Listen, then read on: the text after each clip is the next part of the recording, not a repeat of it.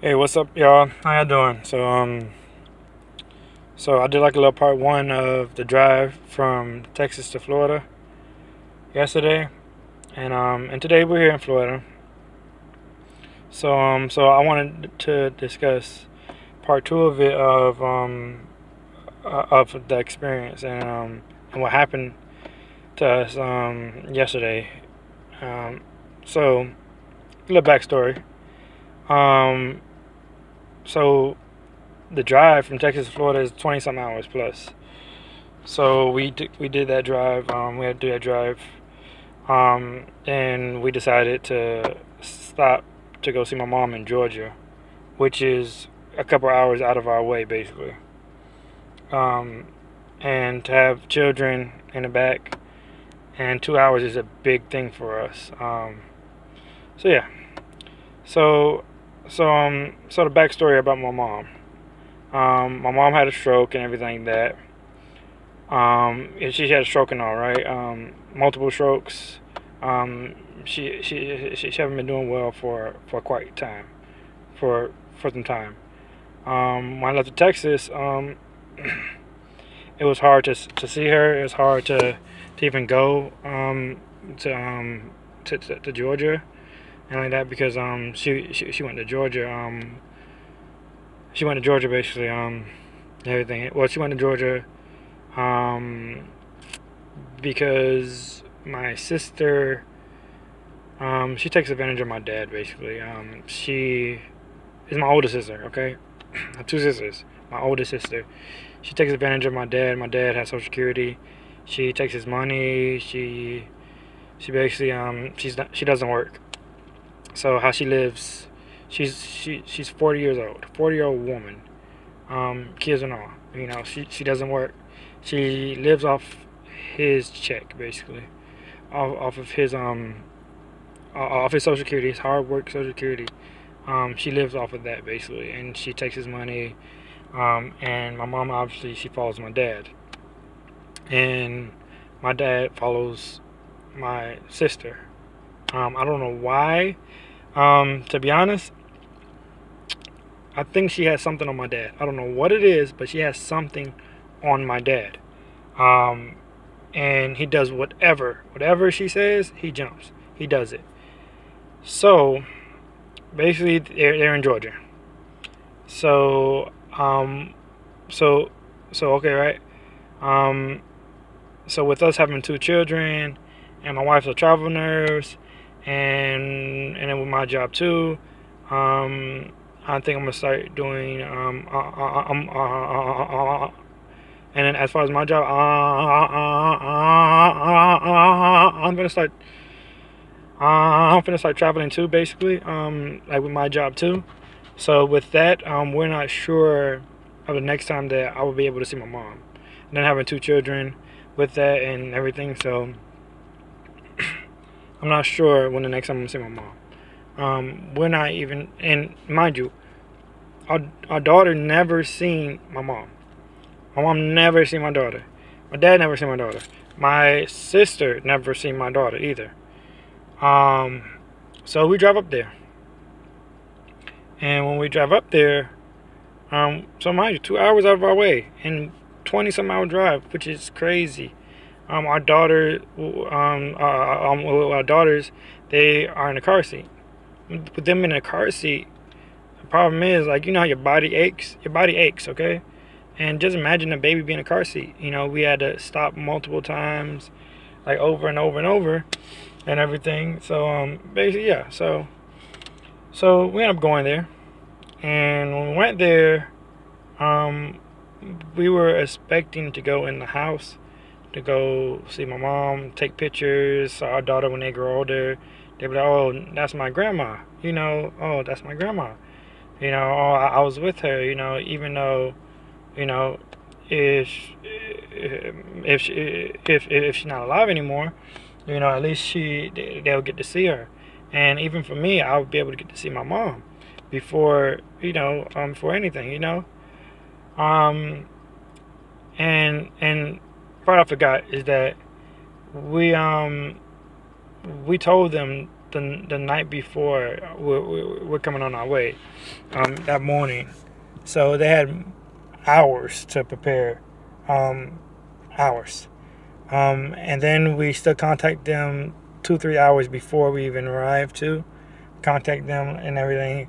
And was a little fuss, but then ultimately she said that she will, um, uh, um, she got to clean up and, you know, um, it's okay, come on. So we, we go there. And she has this little boy um, there basically all which which is like some some some boy whatever. I'm not going to that, but um, some little boy there, um, and he stops us. Everything's in the porch, and then he said he's gonna go get grandpa, which is my dad. I'm like, okay. My dad comes out, and I'm like, okay, so we can't go in. And he says, uh, no, you can't come in because the owner of this house told me you can't come in. Mind you, she don't work. She's not paying bills. My dad is paying the bills. So with my dad paying the bills, the problem with that is, like I said, she must have something on him. Um, because he does whatever. And he's paying bills, he's paying all the bills, he's paying for them to have a shelter over their head and everything. So I end up going so so so when we went there and everything, um, I'm asking him like, so we can't come in? They're like, nah, because coronavirus and everything that. I'm like, okay, so we can't come in. And he's like, yeah, you, because um, you're gonna end up giving her the coronavirus. And we're like, oh, okay. Um, which it's no problem with that. Okay, I understand that. But the issue I have is there's options. You know, you could uh um um like um like with the blinds, you could open the blinds up so we can talk to her basically from out of the window. We could have did that. You know, um um my, my daughters could have seen could take pictures like that. It don't it don't matter. We could explain them. We, we, we could explain to them about the times, you know, and what was going on, and why it's like that. But they didn't do that. Um, my sister could have walked out on the porch and say, "Hey, how you doing? You know, a long time." She didn't do that. Um, my nieces and nephews, none of them came out and said hi. Um, I seen one of my nieces just walk by. She's 18, adult. She she just she runs by in the backyard, just look at us, and that's it. Don't say hi, don't say anything. Just like we didn't even exist. And mind you, we drove this far, and it's hot, 80 something degrees outside and we're hot with two babies with mosquitoes and flies and it was crazy and we're like wow did we just really make this drive i have my wife outside and i made this drive just so my dad could be like nah you can't come in and what doesn't make sense to me if you're so concerned about the virus why even have him come outside when he spends the time with my mom he's spending most time with my mom he lays next to my mom. So we can get him infected and he can give it to her. So you really concerned about the coronavirus? Why do that? Um, at the end of the day, I thought that was just it, it just wicked. It was it was so bad. Like to do that, like okay, you do it to me and my wife, cool, but to my babies, to little babies, little babies at that, they're not big, they're not neither one of them passed a year old. And this is what you do? This is what you do. And we drove all this way. You know, so I don't know what to do. I don't know if I should ever go back again. I don't know what I should do because it is frustrating, man. It sucks. Um, and if you're watching this, sister, you messed up for that. You real messed up for that. You messed up. Like I don't care what was going on. It'll be my last time seeing my mom. It's gonna be my children last time seeing their grandma.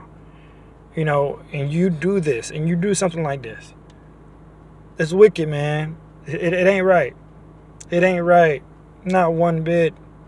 Not one bit. And I hope you see this. I want you to see this.